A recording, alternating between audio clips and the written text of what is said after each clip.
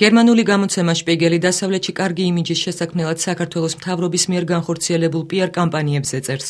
მას ჯორჯ ბუში ეთაყვანებოდა ბარაკ ობამაკის ზურგს აქცევს.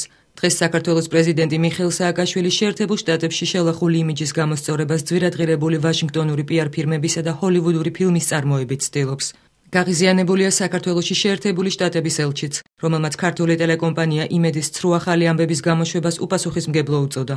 საეჭვო ამ ინციდენტმა ხელი შეუწყოს ქვეყნის ძალისხმევას, რომელიც დასავლეთსა და შეერთებულ შტატებში ქვეყნის იმიჯის რეაბილიტაციისკენაა მიმართული. სააკაშვილის ვაშინგტონში ვიზიტის უზრუნველსაყოფად ქვეყანამ კონტრაქტი პრესტიჟულ პიარ კომპანია პოდესტა გრუპთან გააფორმა.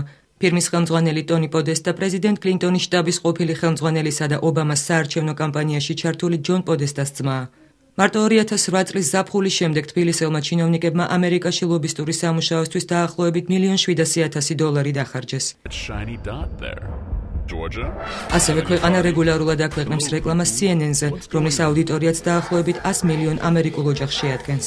2008 წლის რუსეთ-საქართველოს აგვისტოს ომის საგამოძიებო ანგარიშმა დაასკვნა, რომ სააკაშვილის განცხადება თითქოს 5 დღიანი ომი მოსკოვმა დაიწყო სინამდვილეს არ შეესაბამება.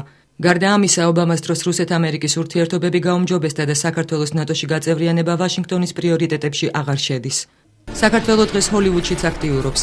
ახახან სააკაშვილმა კინოპროექტი წამოიწყო, რომლის მიზანიც კავკასიის კონფლიქტის მისი ქვეყნისეული ვერსიის პროპაგანდაა.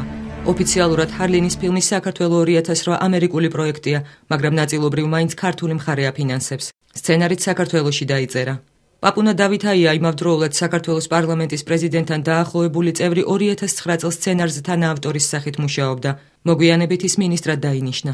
წერს გერმანული გამოცემა შპიგელი.